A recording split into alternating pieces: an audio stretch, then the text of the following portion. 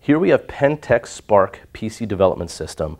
Uh, these systems were developed to take the risk and the time associated with taking a Pentek board and finding a PC, installing it, and getting it up and running, and running properly, running coolly enough, and running uh, quickly enough for you. Uh, we've pre-selected components in the system that allow for the highest data rates possible, pulling data off the cards, and that cool the boards properly, and make sure that the power supply is strong enough, takes care of all of the critical factors, takes all the risk out of the picture.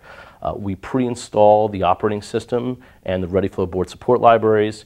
We test all of those uh, library examples and make sure that everything's working perfectly. This way, when you get the system out, out of the box, turn it on, it's instantly working, there's nothing to worry about. So let me show you some of the facilities that we have in here and some of the features. Um, on the front panel, there are a couple of USB ports that are available to you. As you can see, this is a 19-inch uh, 4U high rack mount chassis. It's, it's 21 inches deep. Uh, these doors swing open. It can be locked with this key. Uh, the power button reset are here. In addition to that, there's a DVD uh, burner that's available here for your ability to copy data off of the system very easily or to install any type of uh, software. Optional Blu-ray players are available as well.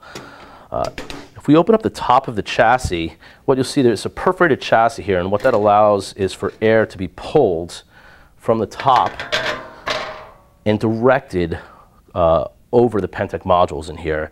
Uh, you know, some of these modules run in the 40, 50 watt range and can generate a considerable amount of heat.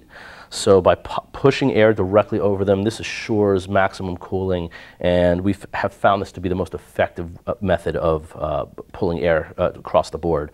As I mentioned, it's a 1,000 watt uh, gold rated supply. There's a one terabyte hard drive for the operating system in, uh, as well.